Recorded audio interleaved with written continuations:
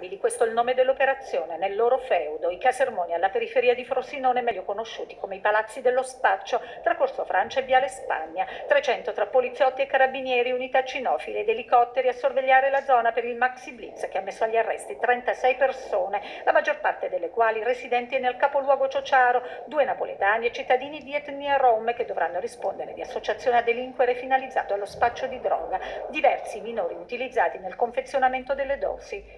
Un'organizzazione ben strutturata, tant'è che interi condomini erano completamente controllati eh, dagli associati con vedette, con telecamere, con eh, anche porte blindate. Un'associazione pericolosissima, non munita di armi, pronte all'utilizzo che abbiamo parte rinvenuto durante le attività di indagini. L'operazione di oggi è il coronamento di quattro anni di un'intensa attività di indagine partita nel 2012. Quando sono stati sequestrati 300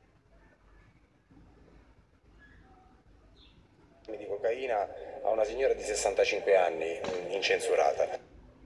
Questo ci ha fatto pensare. Nel 2015 58 le persone arrestate, sequestrati 4,5 kg di cocaina, 115 di hashish, armi, 640 mila euro in contanti e beni immobili e la scoperta di una vasta e capillare organizzazione dotata di canali di approvvigionamento consolidati, depositi per la droga e diverse reti di spaccio che rendevano migliaia di decine di euro